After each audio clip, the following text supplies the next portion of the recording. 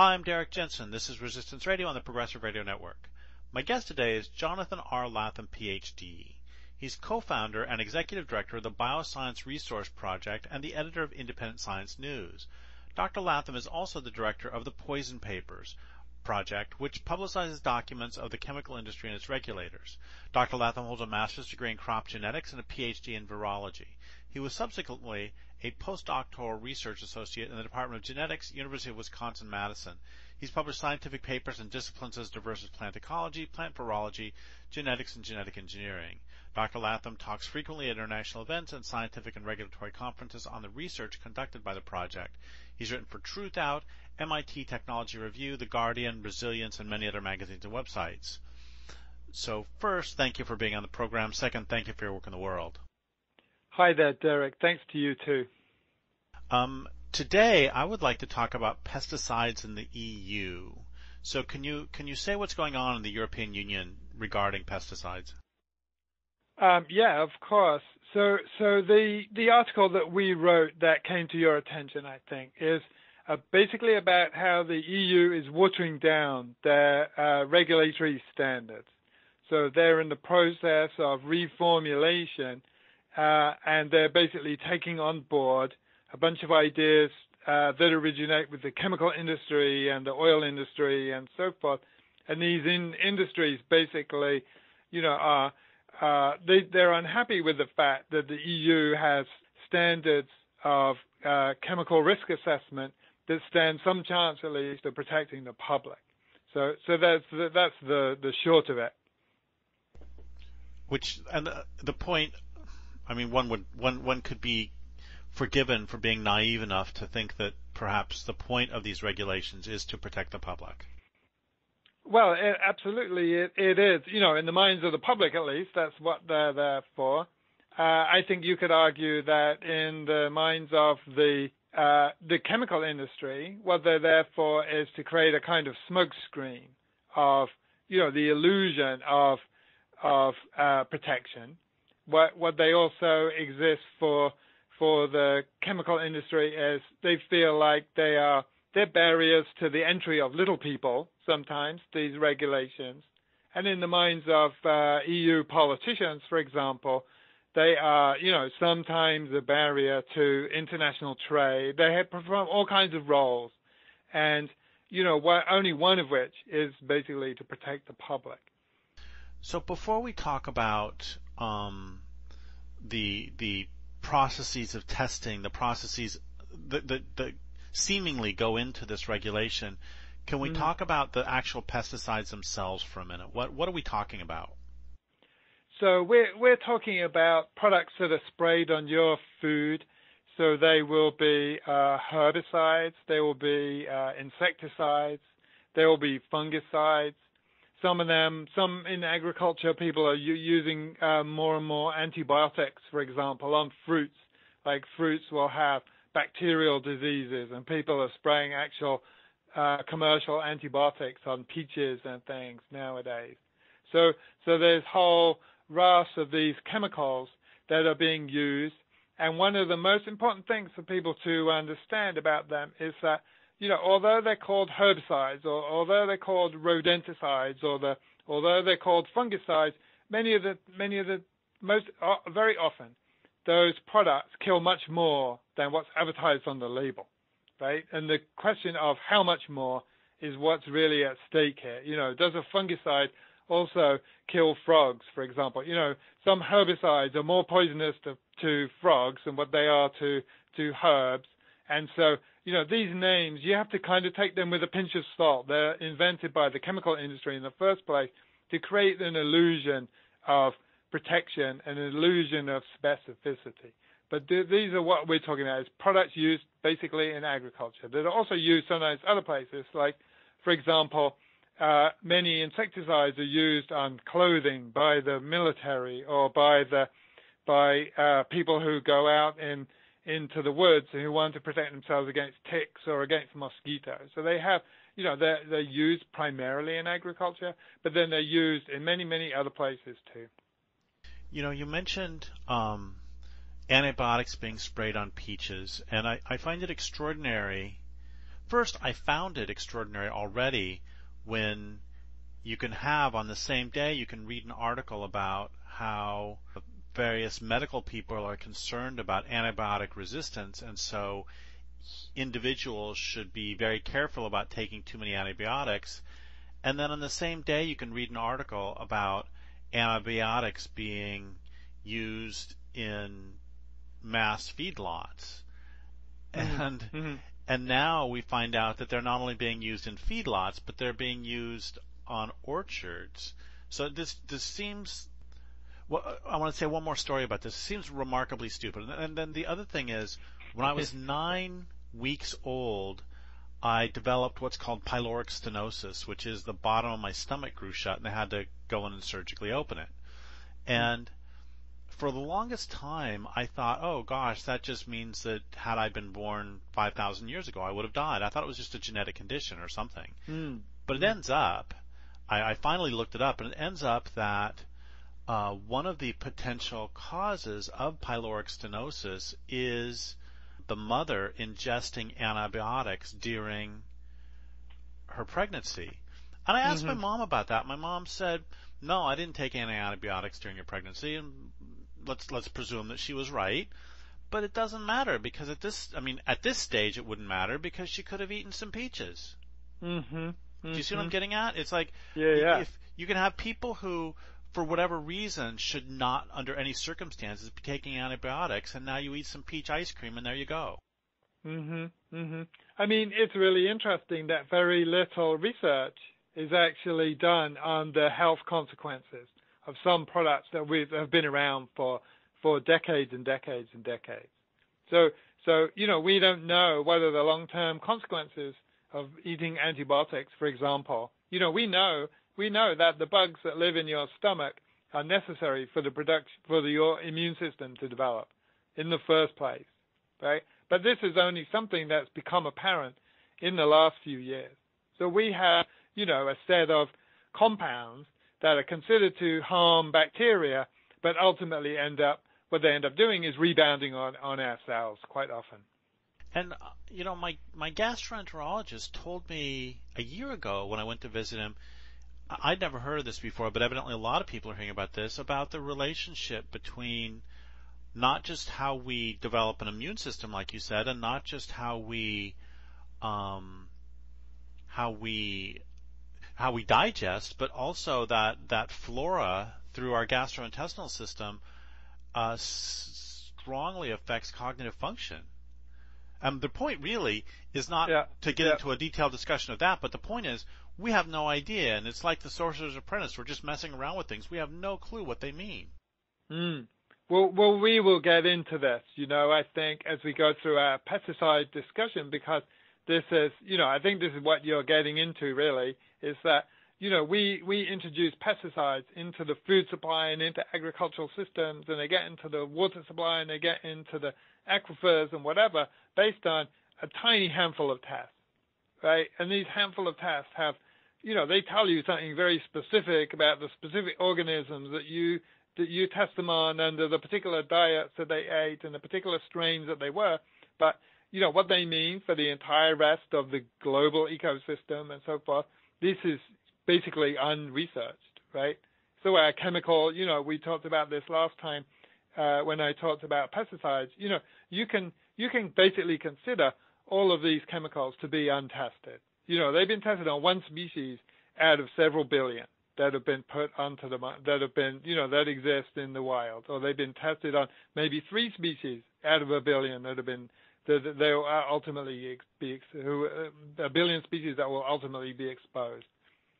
So yeah, we we we know so little, and, and scientists, you know, are totally lacking in in humility in this uh, in in this scenario. So let's talk specifically about testing. How does that process work? Who's in charge? Just feel free to go on mm-hmm. for for mm-hmm. the next heart of the interview about that testing process. Yeah. So we have, uh, you know, in the in the in the U.S., for example, there is there is a system nominally of testing pesticides, at least. You know, for many products, there's no there's no actual testing system. In the case of pesticides, there is a testing system, because these are things deliberately introduced into the food supply and they're deliberately intended to kill things for the most part. And so there is a superficial rationale for, uh, you know, even the chemical industry accepts that, that these products need to be tested, uh, and otherwise they're not safe. So what is, what is, uh, essentially the reality of that testing system though is the big problematic issue here. And what we've been arguing for quite a while now is that you have uh, a system that is unable to actually protect the public. And the reason why it's unable to take, protect the public is that you have uh, tests that are being done on rats or on mice or on dogs or different species. And, you know, if you look into the details of what happens when you test substances on on rats versus mice versus dogs versus horses, you always get different results, right? And the testing system is predicated on that not being the case, right? That that when you test something on mice or on rats or on dogs, that those that that gives you a reasonable indication of what will happen in humans, and that's basically, you know, there's practically no evidence for that being true. Occasionally, sometimes it is true, right? Maybe 50% of the time, it's true that these substances have a similar or related effects on uh, on humans, but half of the time it's not true, right? And so our basic basic premise of the testing system is essentially false. And so you have a bunch of institutions who are trying to kind of look the other way, right? They're trying to basically pretend that what they're doing is rigorous testing and they're going through all these sort of pseudo rational uh, procedures to try to like flesh this out, you know, in some cases to make it, you know, to create more of an illusion of safety. And on the other hand, you've got the chemical industry, for example, which is trying to even take this system and break it down into a into a system that allows their products to get through more easily. So what they're doing is they're doing things like, for example, uh, if you do a an animal experiment. You test, say, 100 rats uh, with a herbicide. You've got a new herbicide. You give it to 100 rats. You have a control set of animals, and you don't give them the herbicide. What the chemical industry, you know, observes, and everybody who does these tests tends to observe, is that you often will get an excess of cancers or some kind of chronic disease will develop in the treated animals. This is a very common outcome. And what the question then becomes, what is the meaning of that excessive disease or excessive of cancers or excessive of lumps or whatever, whatever they, whatever, whatever it is that's different about the treated group. And the chemical industry is basically trying, you know, they want to argue that when you don't see an effect, which sometimes is true, that that guarantees that their product is safe. But what they also want to do is introduce into the minds of the regulators the idea that even if you do see an excess of tumors or an excess of, of one particular set of illnesses, that these are not necessarily uh, indicators of human harm. So essentially what they're doing is they're introducing a double standard, right? What they want to argue is if it shows it's safe, it's safe, and if it shows that it's harmful, it might still be safe. And so, so this is, this is something that uh, is being fought over in the European Union at the moment. You know, many of these issues have been have been basically won by the chemical industry in the case of the US, but in the European Union, they're still up for grabs. And so one of the subjects of the article that we, we wrote is basically how the chemical industry is trying to get regulators to question what they call the human relevance of tumors and evidence of gene- genetic damage that exists in mice and other test animals when they observe it. So this is one thing that's being fought over. Another thing that's being fought over is that is the idea that there are toxicological thresholds, right? That you can be exposed to certain amounts of Roundup or atrazine or or uh, aldicarb or you know these all any any particular chemical below which there is no possibility that you will be harmed, right?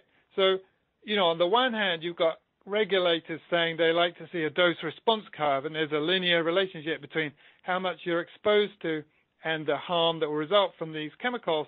And they're trying to basically throw out, if, if anybody ever finds something that doesn't correspond to what they call a dose response curve. So when you when you administer more uh, of the test substance, that the more you add, the more disease you should see.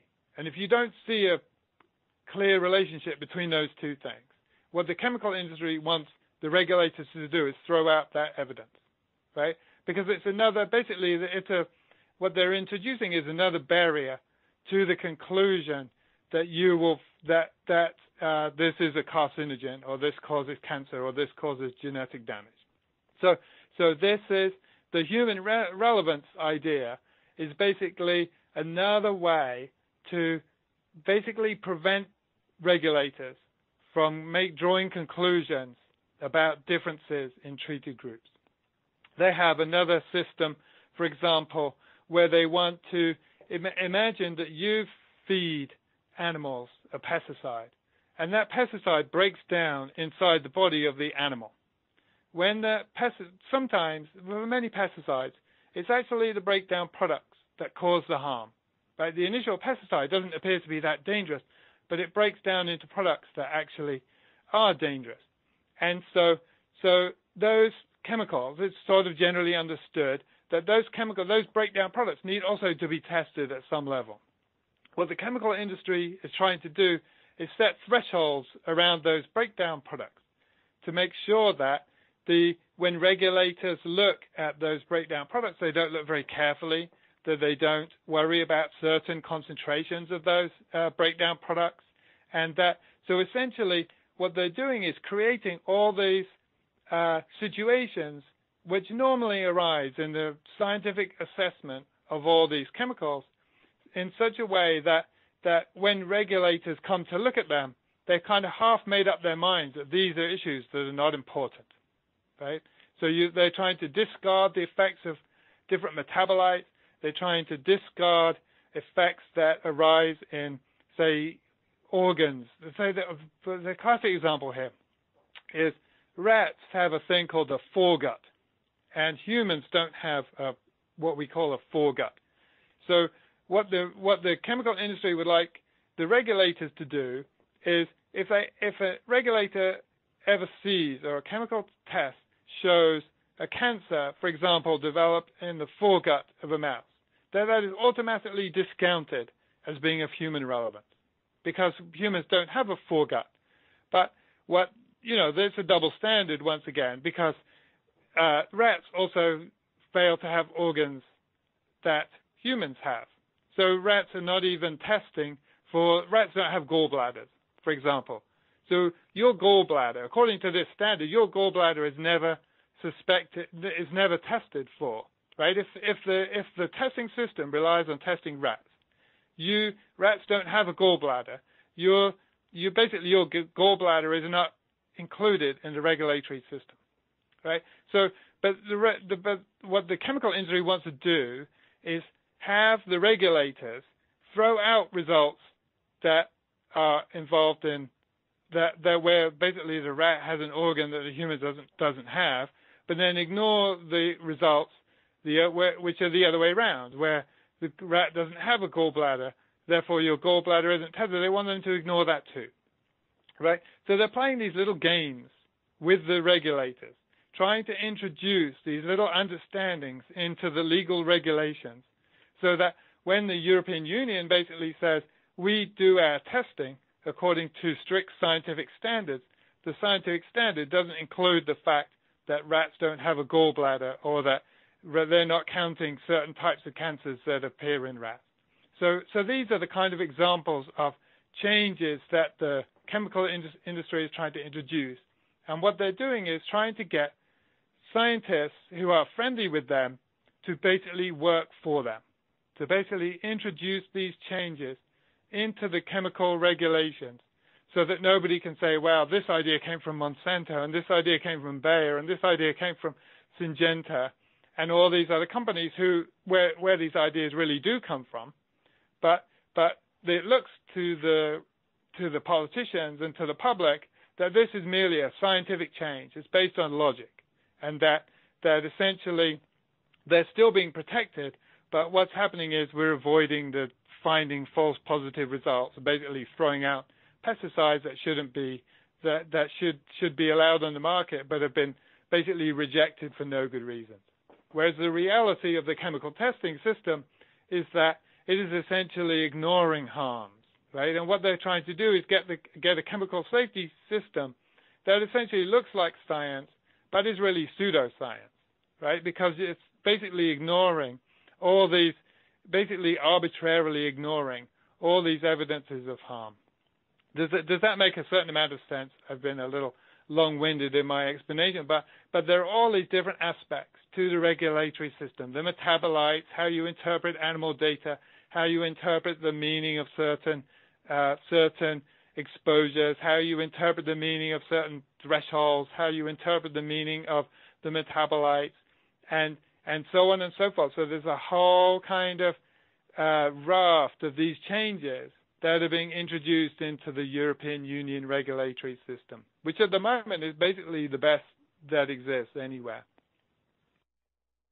So one one of the, a couple of things I hear you saying are that they will argue that testing on testing a certain substance on rats is will tell people whether that substance is safe in humans, but then if it is shown to be unsafe in rats, then they will argue, quite possibly argue, that uh, the test showing it's unsafe for rats does not imply that it's unsafe for humans.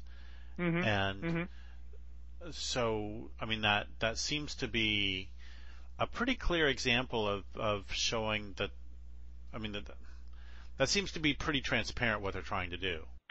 It's a very obvious double standard, right?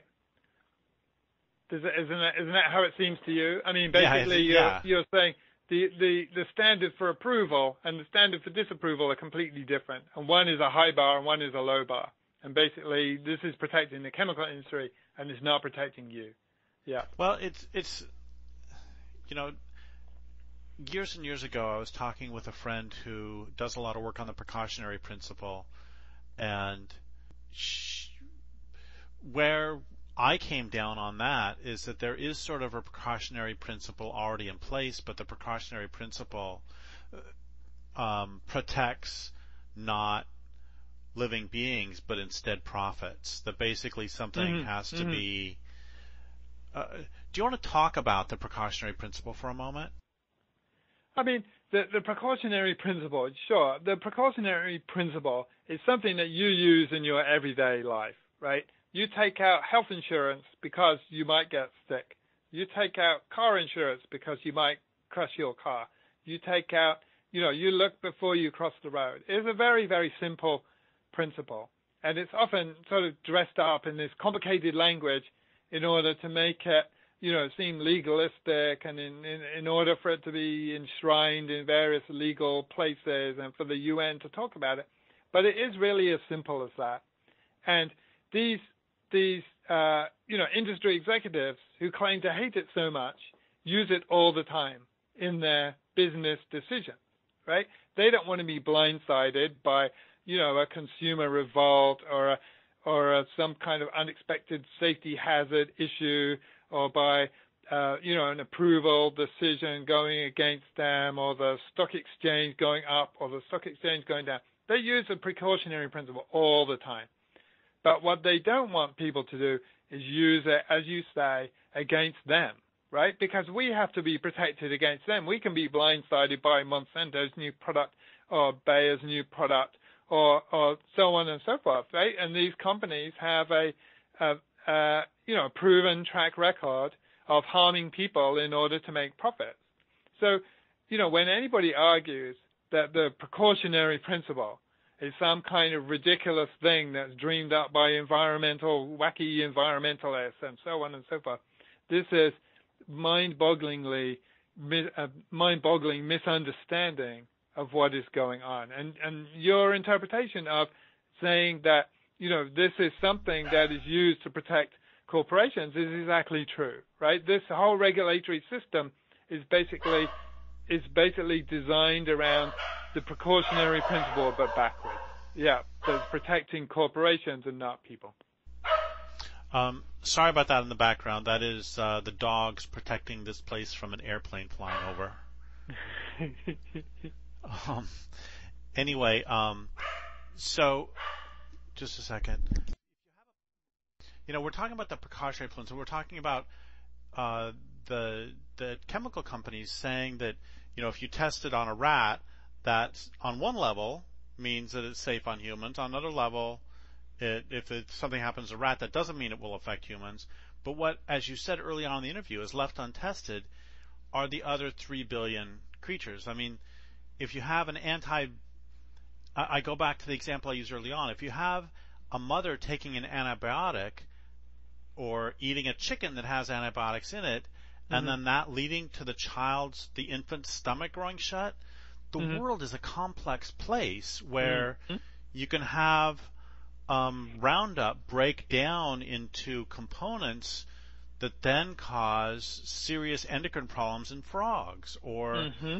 I mean, they're just the thing that blows me there, away. There are endless possibilities, right? Yeah. Exactly, and these are just huge open air experiments.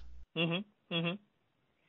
Yeah, I mean, you have, you know, the way the way that a rational person should think about this is that they're basically not protected. But not only are they not protected, the the rest of the planet is not protected either. You know, and they're very simple. They're very simple, you know, uh, uh, cause and effects that people even don't think about. You know, for example, when people put a pesticide onto their clothes, you know, you buy a piece of clothing that's anti-tick from LL Bean, and then you put it in your washing machine and you wash it, then what happens to that pesticide, right? It's basically a, uh, uh, you know, it will basically come off on your clothing, either because the the lint comes off, or because the thing dissolves in the water, and that ends up in your nearest river, right? And in your septic tank, and in your in the sewage sludge that then is put on the fields, right? For the most part, it doesn't break down. It just goes into those places. But that means that LL Bean is now the source of massive amounts of a pesticide entering the rivers and the lakes. So, so these are very simple things, but what that means is you then have an exposure, right? Your whole lake, you know, your the lake that's 10 miles down down the river or the dammed dammed uh, the Dan river you know, wherever that, that effluent shows up is basically continuously exposed to a pesticide uh, that uh, that is being generated by every single household in that in that watershed, basically. And so, we have absolutely. Yeah. Sorry, go ahead. So so you know these are simple cause and cause and effect uh, chains that most people spend zero time thinking about. But but you have to understand that your chemical regulators are spending zero time thinking about these cause and events too. Because if they did think about them, they wouldn't be doing this in the first place, right? They wouldn't they wouldn't allow these products out into the market because of course they're going to cause massive harm. And so so you have you know you have all the aquatic life, you've got all the bird life, you've got all the fish life, you've got all the plants are potentially at risk from this substance that, that, that washed off your clothes and you put it into the into the laundry. But hey, at least I don't have to pull ticks off my socks. That's that's right. You have to bend down. Yep, yep. And so we've in in the article, um, and we haven't talked about them specifically, but mm-hmm. can you talk for a moment about the uh, uh, what are they called? The the neocotinoids. Is that how you pronounce it? Neonicotinoids. Neonicotinoids. Yeah. Um, yeah. They seem like a a particularly uh, a particularly bad thing. Mhm. Mhm. Well, they they are. You know, I mean, it's open to doubt whether they're worse than the pre-existing compounds. What is interesting about them is in part is they're water soluble. So, so, you know, the previous generations of pesticides were not very water soluble. So, you know, if you sprayed them in the, your garden, they would more or less stay there. If you, uh, you know, if you put them on food, they would more or less stay there. And this is a problem in the sense that these compounds would bioaccumulate, right? Basically, you've got two choices with a substance. If a substance doesn't break down, if a substance breaks down, then then you know all bets are off. It potentially is a reasonably safe pesticide. But if it doesn't break down, there are two choices. It can be fat soluble. If it's fat soluble, it basically doesn't move anywhere, but it will bioaccumulate. So if you spray it in your garden, on your vegetable patch, and then some uh, spider eats the aphid that you were trying to kill, it will accumulate some of that pesticide. Then the bird that eats the spider will accumulate uh, that pesticide, and basically will eat 10 spiders a day, so it will get 10 spiders worth of pesticide every single day. Then that, then the the bird of prey that comes along and eats that bird in turn, that will get uh, you know hundreds of spiders worth of pesticide every single time it eats uh, you know a sparrow or a or a blue jay or whatever it is that it eats. So basically, these these fat soluble substances they accumulate in the food chain, and they're broken down at a slow rate usually uh, by the body itself. Like the liver will detoxify these things. The liver will, the kidney will will detoxify a little bit. So there is a certain breakdown rate, but often it's not quick enough to protect the birds of prey, for example. So we have this whole generation of pesticides that were accumulating in the food chain and that end up harming the the top predators, right? The condors and uh, the uh, and the the birds of prey. But neonicotinoids have the opposite problem that they're water soluble. So you put them, you spray them onto your, uh, you put what they want to do locally around here is put them into hemlocks, Basically to kill woolly adelgids that are invasive insects. So what's what you know local uh, nature reserves and so on and so forth are doing is they're injecting these neonicotinoids into the tree. So you can, because it's water soluble, you can inject it into the tree. It goes all the way, it spreads all the way through the tree, down out into every single leaf, and it sits there and it kills these woolly adelgids. That part is not the problem, but what happens is uh, the leaves drop and the roots decay and the tree falls over. You know, eventually the tree will die. Basically, those neonicotinoids get out into the environment. When the leaves drop, they are eaten by earthworms, they're eaten by arthropods, they're eaten by uh, all the little beetles and so forth. But they are, they will be exposed to the neonicotinoids that are supposed to kill insects, and so they do, right? And so they're basically, as soon as the leaves drop, then they will be exposed then those leaves will will end up in the streams. They will end up in the water supply. They will end up in all these places that where they will continually poison the insects, and then it will end up in the lake, right? So basically, the leaves blow into the river eventually, or they break down, and the soluble substance breaks down and goes into the river. So everything ends up in the water, right? Because it's water soluble. It's not going into the fat. It's not going to fatty substances. The fatty substances are basically living organisms, and water soluble things are basically the rivers, the lakes, the aquifers, and so forth. So these neonicotinoids are going into all those areas and poisoning all the insects, plus you know a whole bunch of other side effects too. Right? So somebody exposed deer. The other new scientific paper came out exposing deer to neonicotinoids leaves uh, gives rise to all kinds of bad effects. Right?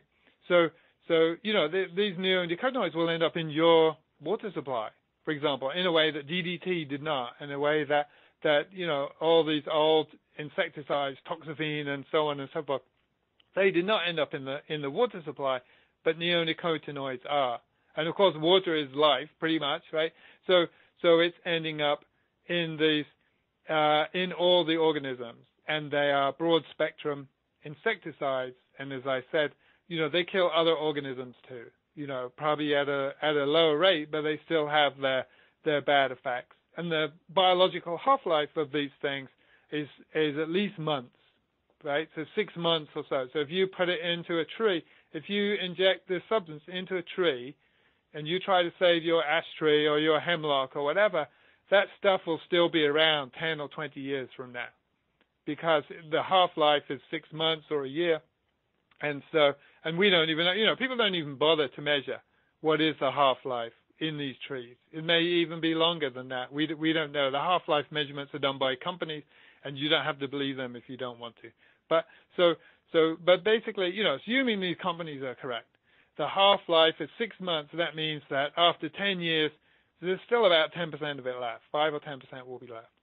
So, so basically, they're long-lasting substances in the environment that are getting into the, all the water and the water supplies and so forth.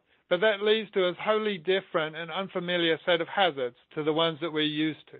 You know, we're used to, to fat-soluble compounds bioaccumulating in killer whales and in seals and in, in uh, higher predators whereas these neonicotinoids are being used even vaster quantities than DDT was used and being basically spreading into totally different ecosystems.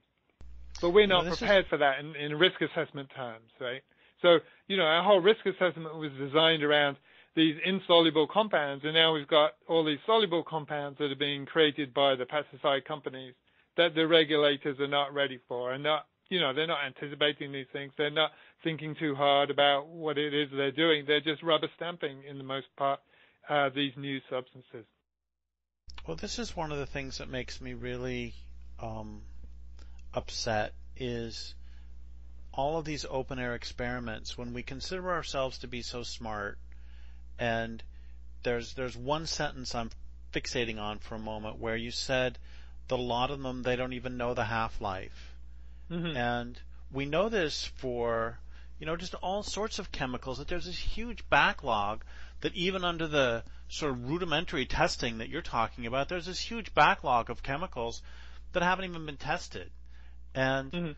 I don't I don't understand how we can consider ourselves so smart as a species and so smart as a culture and yet we do these open air experiments. It just I mean, did none of these people ever ever see the Sorcerer's Apprentice when they were kids? It's it's just it is it, it boggles my mind that chemicals are being released into the world when not only do they not know how toxic they may be to freshwater mussels, but they don't even know the half life. Mm-hmm. Mm-hmm. That just seems nuts to me. And yeah. I understand it's not nuts because it serves the interests of capital. Because on the other hand, the, uh, the the researchers, I'm sure, if they were in on this conversation, they could say, "Look, you want us to figure out the half life. What if the half life is 50 years? We don't have the time because because we need this product on the market today." Mhm. Mhm. I mean the you know the the layers of of you know I like to call them sometimes pseudoscience are incredibly deep. You know we have these you know when I say we don't know the half life, you know, a lot of it has to do with the fact that, you know, somebody did an experiment once on a piece of, on a water body or something, you know, they put it into a test tube and they measured how fast it disappeared. But, you know, the, the question, the question for the half-life of that substance is, is not, you know, what is the half-life in a glass of water? Is what is the half-life in the soil? What is the half-life in the river that it goes into? What is the half-life in the lake that it winds up in? What is the half-life in the tree that you inject it into? What is the half-life in the wheat plant that you spray it onto? Right? So these questions never get asked, basically. You know, people do, you know, people people faff around the edges of these questions you know, they'll take some measurement and that will go down in the scientific literature. This is the half-life of this substance. But that basically there are so many other questions that, that need to be asked about them that that basically, you know, people just look the other way as far as I can see. I mean, the the conversations that need to be had around these issues are very interesting ones, right? You know, how can people who call themselves scientists and the wisest in their society and so on and so forth be so stupid, right, as to make these decisions and to support these decisions. And part of it is that they have, you know, the chemical industry, you know, basically finances our universities and our media to create all these stories and narratives around, you know, firstly the wisdom of scientists, how they're not affected by conflicts of interest, how science is so clever, how scientists are so objective, how scientists are so, uh, you know, have this long history of always, you know, uh, reflecting on their own, uh, on their own, you know, problematic things, and how scientists are so humble and scientists are so, so, um, what's the right word? Uh, you know, kind of disinterested, and yet they spend all their time bribing scientists effectively and giving them money to do research on their Lotus products and so on and so forth. So like that, you know, a lot of it is the scientists are inside these bubbles. You know, that you and I are not really inside. You know, we don't spend our whole life at Cornell University and Harvard University and University of Oregon or whatever. We don't spend our time inside these things. But inside these institutions is kind of like a, there's a bubble of thought you know, in which which just scientists just think completely differently. I mean, I was in a seminar the other. I'm going to write about this, but I was in a seminar the other day, and the professor offers pesticide to his students to eat. Right? I was completely stunned that anybody would do that, and yet he told them it was perfectly safe, and that they shouldn't worry at all. And so, so they, they three of them took it, right?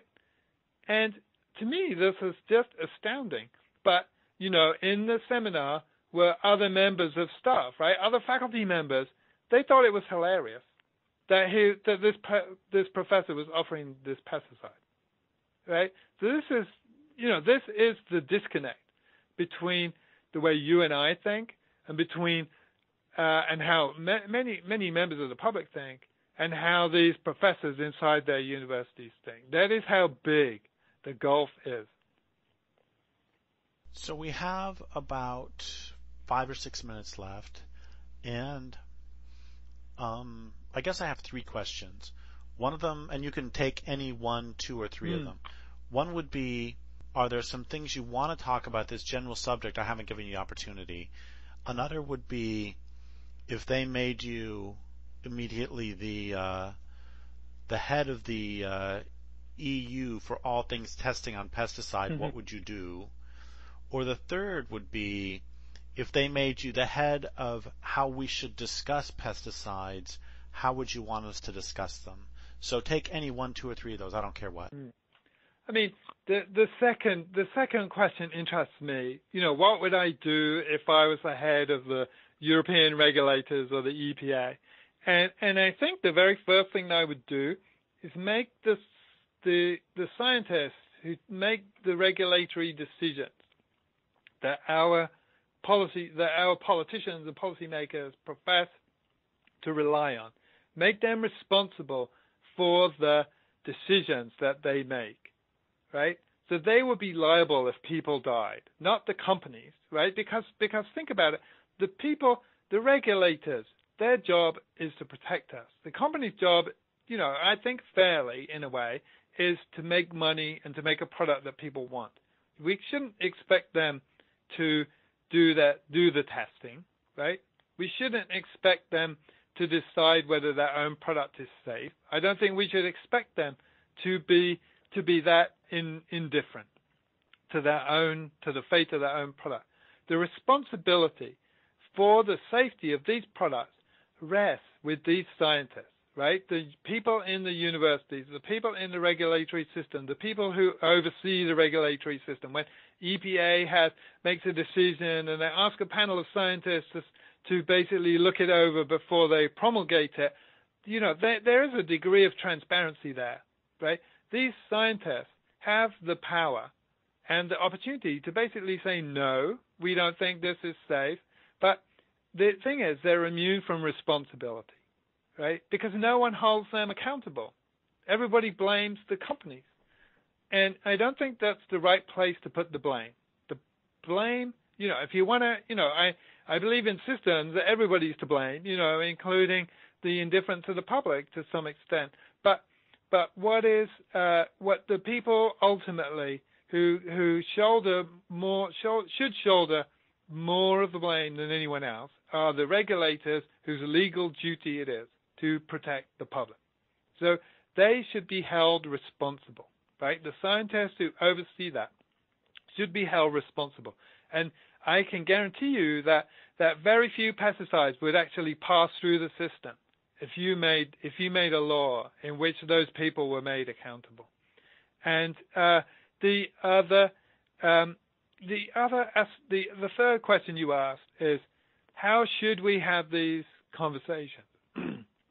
the the fundamental error that people mistake is that you they don't understand their relations to the natural world, right? That we think somehow that we are genetically distinct organisms immune to the uh, to the effects of the world around us. We think we are, you know, thinking beings who have you know, we have our own brilliant ideas and, and we communicate those to other people or we may learn about things from other people, but we don't really understand the kind of sea of ideas in which we're in, and in that, uh, you know, we are not normally the originators of brilliant ideas. We just, we accumulate them from other people and we pass them on to other people, but we're part of an ecosystem of ideas. And the same is true for chemicals, right? Anything that you use as shampoo or anything that you rub on your skin or anything you eat is has a distinct possibility of harming you and sometimes killing you. And people don't understand that. They think that they are individuals who are immune from all these things, that you're not what you eat, you're not what you put on your skin. People should think about every, you know, when, if you use a shampoo, you should think, the question you should ask yourself first is, would I eat this shampoo? Right? if you put something, you know, if you put lipstick on, right, you should think, would I eat this lipstick? Because basically, it ends up in you, right? Whether you know, understand that properly or not, the that is where it goes. And the so average people, woman, sorry, the average woman eats about seven pounds of lipstick in her life. Hmm. Yeah, but they probably eat. I mean, I'm not sure of how, how that figure is arrived at, but but that that is, you know, this is fat soluble fat soluble substance, right? The the that may not even break down. I don't even know what lipstick is made from. I mean, I use as few of these compounds as possible, and I, in our house we have, you know, as much as possible is made from wood or glass or metal or natural fabrics, and you know, we we try hard not to bring weird plastic things and weird substances and weird uh, no, scents and lotions and stuff into our house because because we treat them all as things that potentially could kill us. And I think it's the additive burden. You know, I don't think it really comes down to specific chemicals that end up killing us.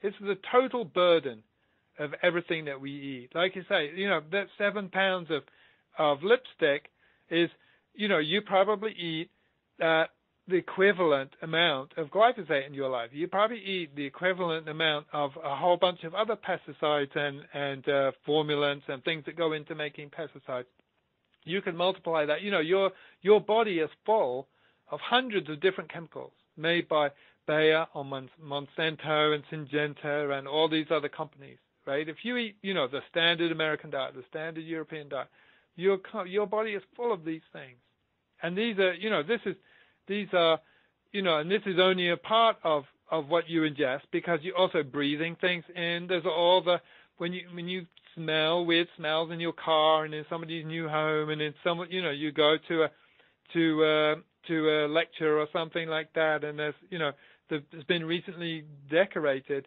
you're ingesting all these substances and it, to me it's no surprise that people become sick you know they, they get parkinson's disease even though we have you know in some senses a way better diet and more regular food and we understand how to exercise better and so forth the people's life expectancy isn't really going up and in some cases going down.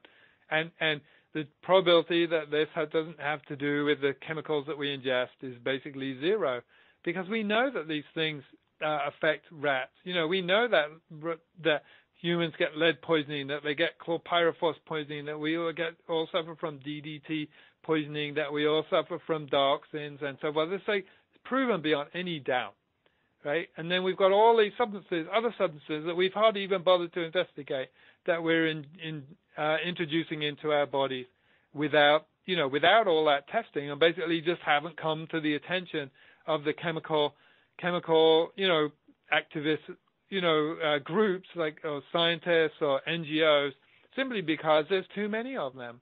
So, so you know, the situation is really is really really bad, and people need to understand that they they need to work out how to protect themselves. Well, thank you so much for all of that, and thank you for your work in the world. And I would like to thank listeners for listening. My guest today has been Jonathan Latham. This is Derrick Jensen for Resistance Radio on the Progressive Radio Network.